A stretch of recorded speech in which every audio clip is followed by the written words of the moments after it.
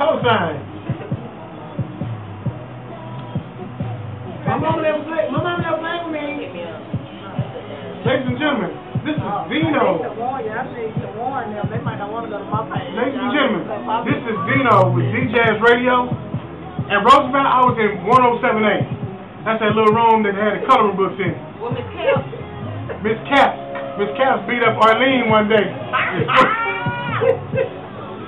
She did. She hit me in my stomach. It was on.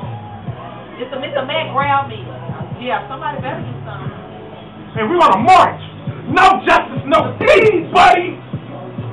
We're gonna beat you like the dog you are.